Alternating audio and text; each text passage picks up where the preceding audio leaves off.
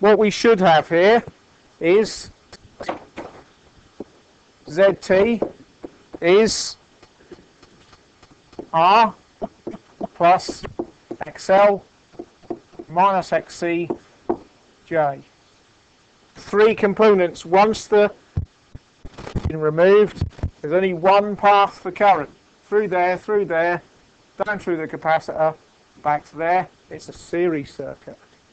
So I've added the resistance, the reactances together in complex form. That's what I'm now going to do. So that's so putting the values in. 6 plus 8 minus 3 j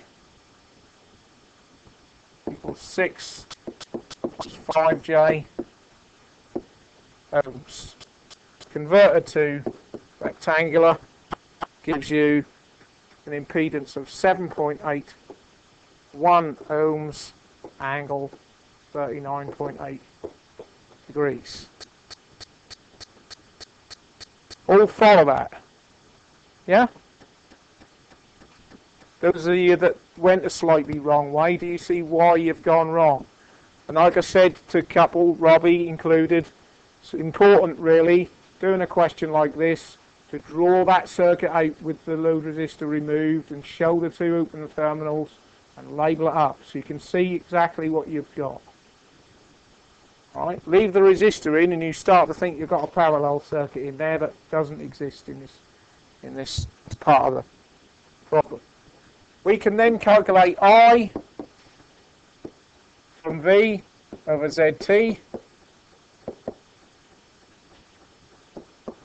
100 angle 0 divided by our 7.81 angle 39.8 gives us a current of 12.8 amps at angle minus 39.8 degrees.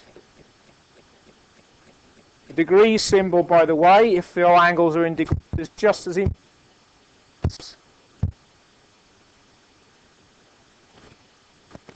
would be assumed. Yeah? Which wouldn't be correct. Alright? Now, as we've got um, the impedance is a bigger ohmic value than uh, XL is bigger than XC, does a negative Lagan current fit in with signal for an overall inductive circuit? VIVIL, inductive circuit, current lags, comes after voltage. Right, so that's that check I was talking to you about last week. We'd expect the current to be lagging, negative angle to the voltage because of the circuit, although it's got an inductor and a capacitor, the inductor's got the bigger ohmic value and therefore overall that circuit is inductive in nature. Okay, so now we can calculate VOC which is V Thevenin's, which is equal to the voltage across the capacitor in this case. That is equal to the current I times XC, which is 12.8 angle minus 39.8 multiplied by 3 angle minus 90 degrees.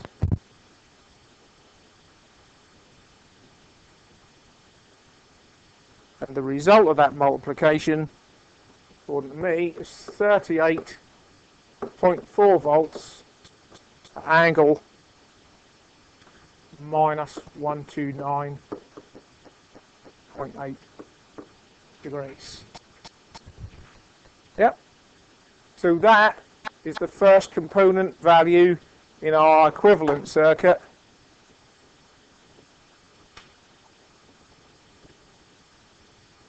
So our final equivalent circuit is going to be an AC source We haven't calculated that yet. The 4 volts angle 9.8 degrees. Our load when we're finished will be 25 ohms and we want to cal calculate IL. So we'll come back to that in a minute. Stage 2 finding Z little t.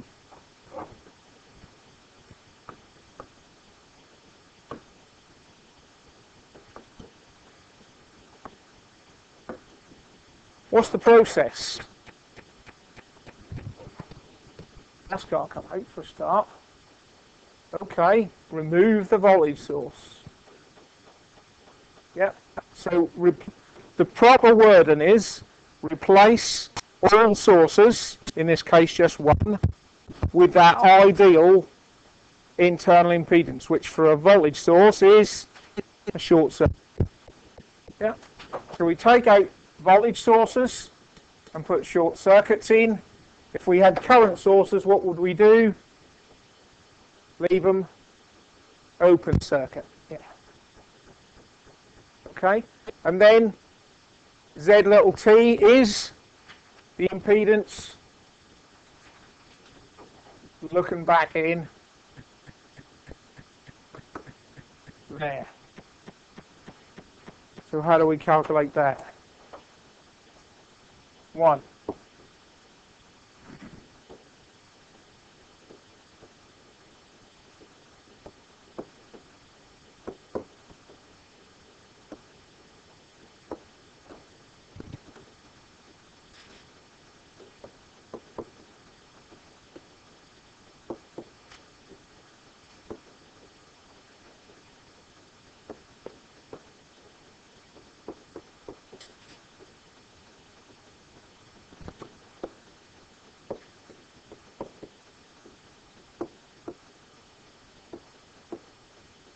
That's what we've done.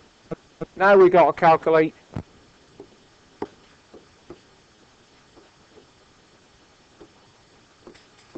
ZT looking in at A, B. So what kind of circuit have we got looking in at AB?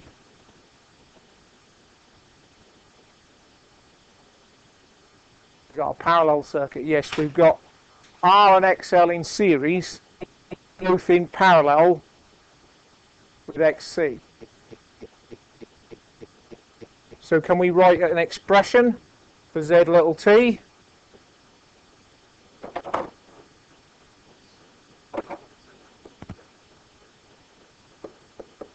Sorry? Yeah, so we got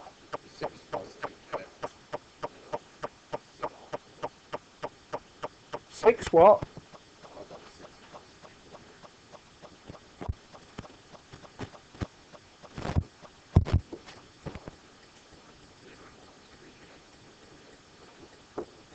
Yeah, we'll write this first.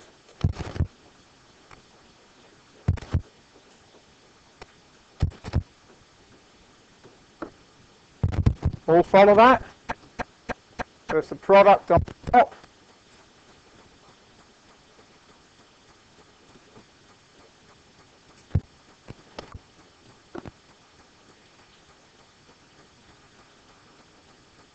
Simplify the bottom.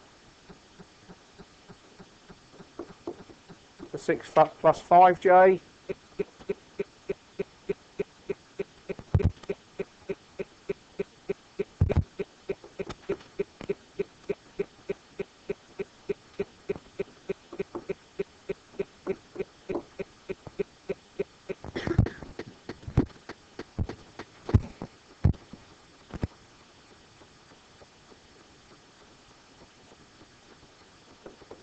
Rather have them in polar form.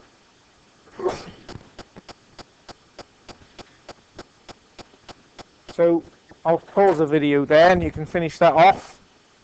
Calculate Z little t. So what we got then, Khan? Come on, pick on you.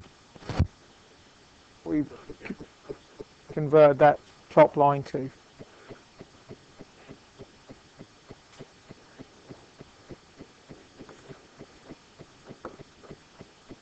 Multiplied by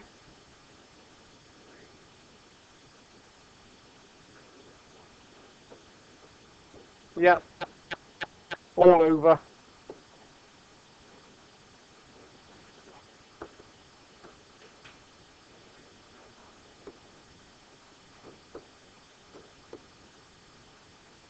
Yep.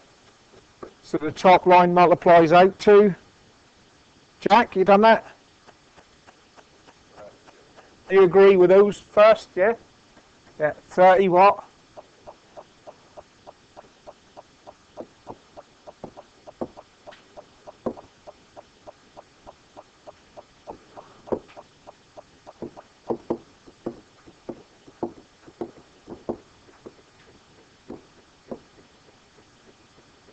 Yep, everyone agree? Robbie, final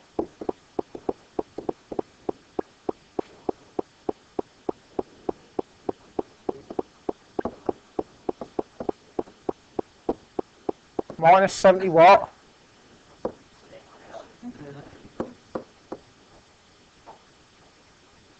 What's missing from that?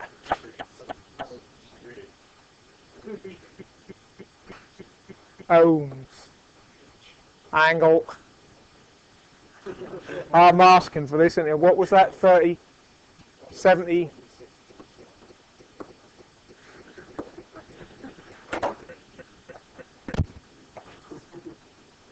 You are pushing it now. So 3.84 plus 76.7, yeah. So we can add that to our diagram now. This is 3.84 ohms angle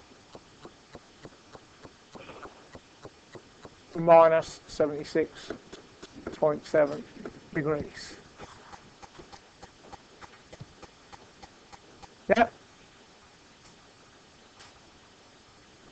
So we can now calculate the current if we calculate the total impedance first. So what I'll add those together.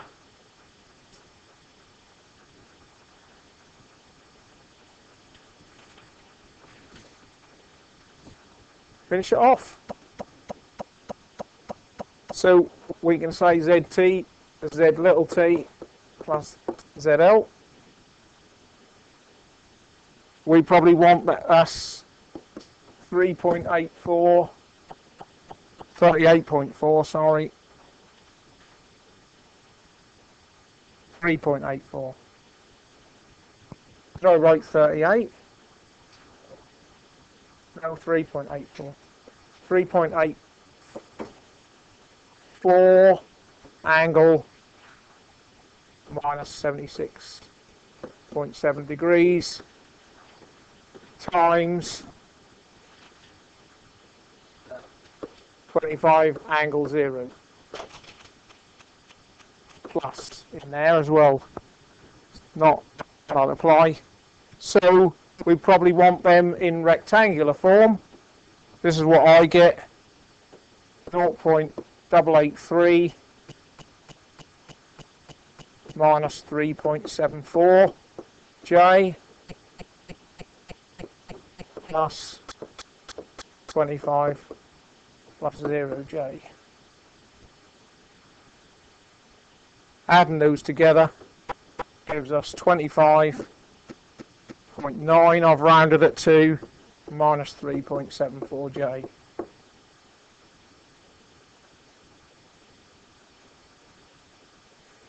which converts in polar form to 26.2 ohms angle minus 8.22 degrees. If anyone disagrees with any of these figures, shout. Therefore, I is equal to V Thevenin's over that total impedance, which is 38.4 angle minus 129.8 degrees divided by 26.2 angle minus 121.6 degrees. Final result 1.47 amps angle minus 121.6 degrees.